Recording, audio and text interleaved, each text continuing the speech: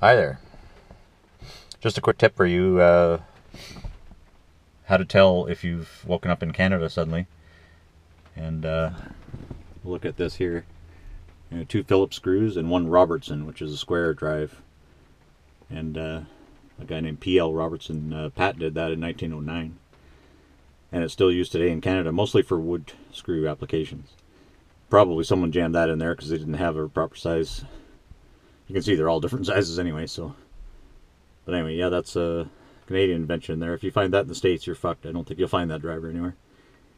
Um, I did hear somewhere that Henry Ford wanted to buy the uh, license for the whole thing. I, I, think he wanted to buy the thing outright and use it for building Model Ts. It was going to be the single fastener type for Model T, but uh, this P.L. guy wouldn't uh, wouldn't sell out, I guess.